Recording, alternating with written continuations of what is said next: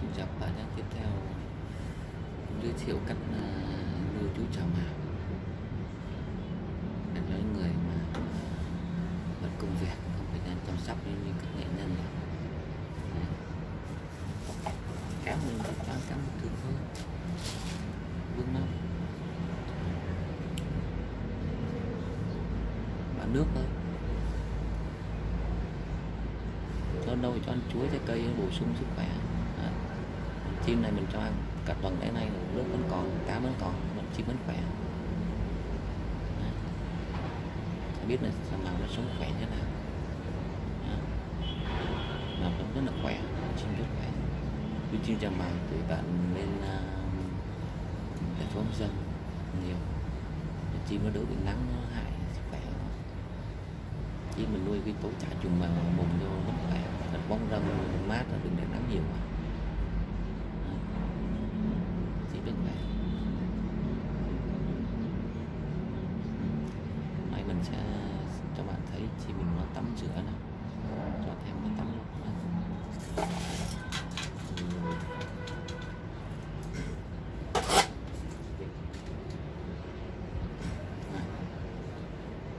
thì việc đầu tiên là các bạn phải mua một cái bộ đồng tắm như này.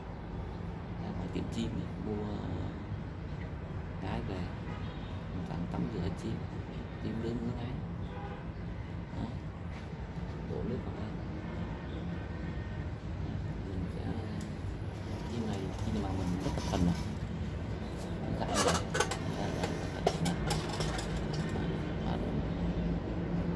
mở cái nắp nồng nhà tắm này kéo được chim này nó phi vào Đó, phải là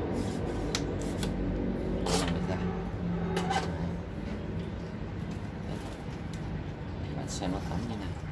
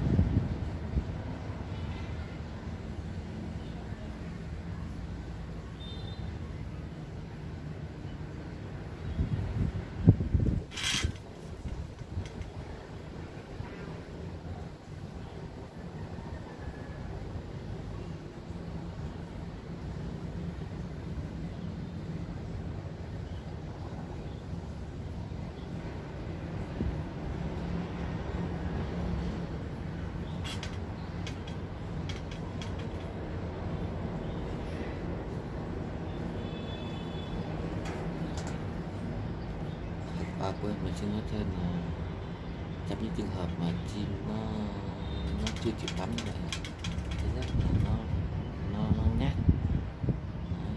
ta không ép nó phải tắm này kia nó còn nhát quá vì trước mình tắm chỗ khác thôi chỗ này nó lạ quay phim nó lạ nên là nó nó nó, nó sợ nó không tắm Đấy, cái gọt này thì chúng ta tốt nhất là cho chim vào lòng cái này Đấy, bạn nào mà, mà chim mà không tắm tốt nhất bạn nên để ngoài trời nắng. Để ngoài trời nắng cả nước không được đó, mà là chim nó, nó, nó, nó cảm thấy được an toàn thì nó sẽ tắm. Còn cái mà nó sợ sệt như này cảm thấy không an toàn thì nó sẽ không tắm. Rồi xin lỗi các bạn nhé tôi sẽ cho nó lặp lại. Nằm rắn và tắm sẽ quay sau nha